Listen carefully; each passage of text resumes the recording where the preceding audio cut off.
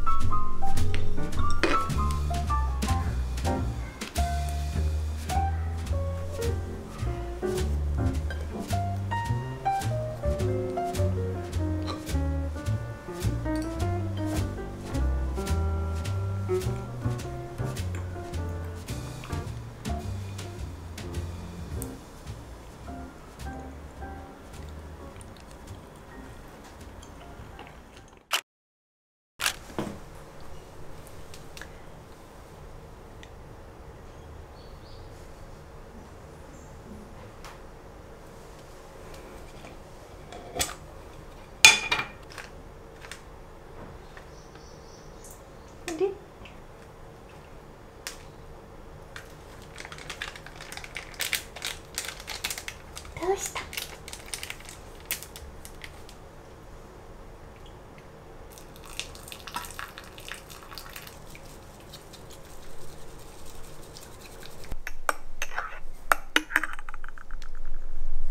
さっき本屋に寄って買ってきた本を紹介します。一冊目「体は全部知っている。吉本バナナ」これえっと短編なんですけどさっきカフェでも読んでたこの同じく吉本バナナデッドエンドの思い出。これは友達がインスタで紹介しててで読んでみてああやっぱりバナナさんの短編いいなっていうのでこっちも買いました。なんか表紙の写真がレトロで可愛いのも決め手の一つです。2冊目「滑らかな人」百瀬綾。これはエッセイなんですけど初めての著者です。すごい読むの楽しみです。ちょっと分厚め。で最後が「いつか月よ」寺地春菜最近ずっとエッセイとかばっか読んでたんですけど今日本屋でいきなり小説が読みたいって珍しく思って寺地さんのこの多分新しいやつを買いました。この方の本は以前ちょっとタイトル忘れちゃったんですけどなんか棺桶が出てくる。棺桶屋さんやったかな？なんか読んだことあって面白かったのでこれも読むの楽しみです。以上。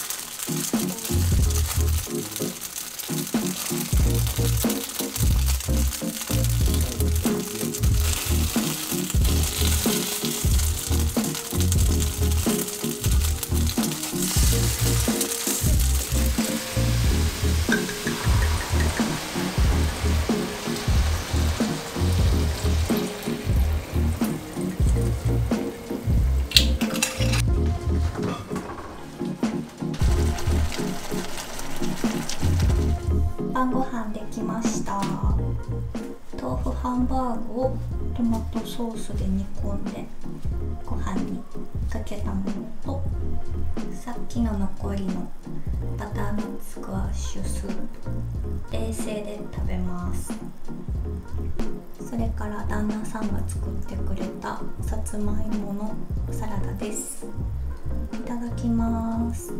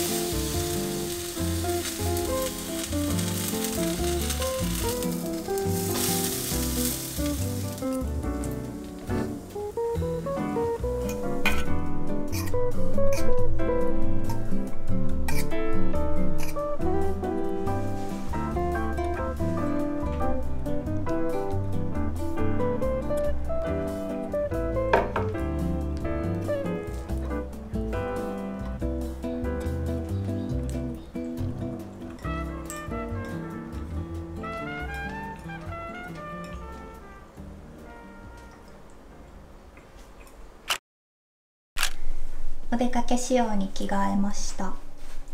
めっちゃ古い古着のマルジェラシャツに豆のスカート文江田中のチェーンブラとバッグはいつも通りアンデコレイティッドの餃子バッグです。できます。